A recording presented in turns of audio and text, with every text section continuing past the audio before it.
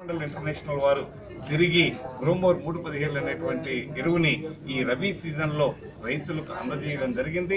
రాబోయే ఖరీఫ్ రబీ సీజన్లో ఈ గ్రోమోర్ మిగతా అన్ని ఎరువులతో పాటు గ్రోమోర్ మూడు పదిహేళ్ళు గ్రోమాక్స్ను కూడా తప్పకుండా రైతులకు కావలసినటువంటి ఇదిగా సరిపోయేటువంటి క్వాంటిటీస్ని మేము వారికి తీరువ చేయబోతున్నాం ఇదే కాకుండా సేంద్రియ ఎరువులను కూడా చాలా మంది రైతులు సేంద్రియ ఎరువులు వాడాలని ఉన్నా కూడా అవి మాకు దొరకటం లేదు.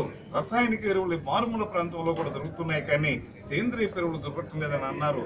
దానికి గ్రో ఈ గోదావరి గోల్డ్ క్యాష్ అనేటువంటి ఈ సేంద్రియ ఎరువులను కూడా మన కోరమండల్ ఇంటర్నేషనల్ సంస్థ వారు రైతుల ముందు రైతుల ముందుకు తీసుకొచ్చారు.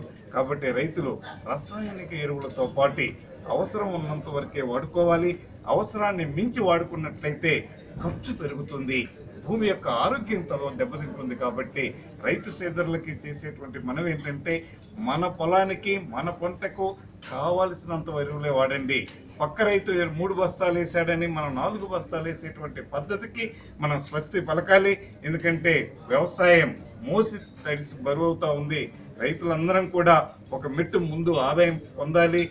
రైతు బాగుంటే దేశం యొక్క ఆర్థిక పరిస్థితి బాగుంటుంది కాబట్టి ఖర్చులు తగ్గించుకోండి రసాయనిక ఎరువులతో పాటు సేంద్రియ ఎరువులు వాడండి.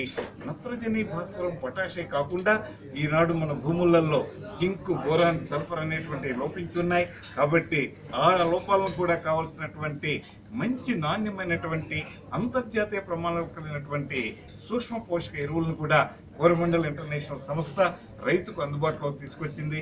కాబట్టి రైతులందరూ కూడా ఎప్పుడప్పుడు మెలకువలు తెలుసుకొని వారు బాగా పంటలు పండిస్తారని మరి రైతులు చేసినటువంటి ఈ కష్టాలకి వారు చూపించినటువంటి ఆదరాభిమానాలకి ఎప్పుడో ఒక చిన్న మొక్క అయినటువంటి కోరమండల్ ఇంటర్నేషనల్ని ఇవాళ మహావృక్షం అవటంలో ఈ రాష్ట్ర తెలుగు రాష్ట్ర రైతాంగాలు వారు చూపించినటువంటి ప్రేమ అభిమానాల్ని మేము ఎప్పటికీ మర్చిపోలేం.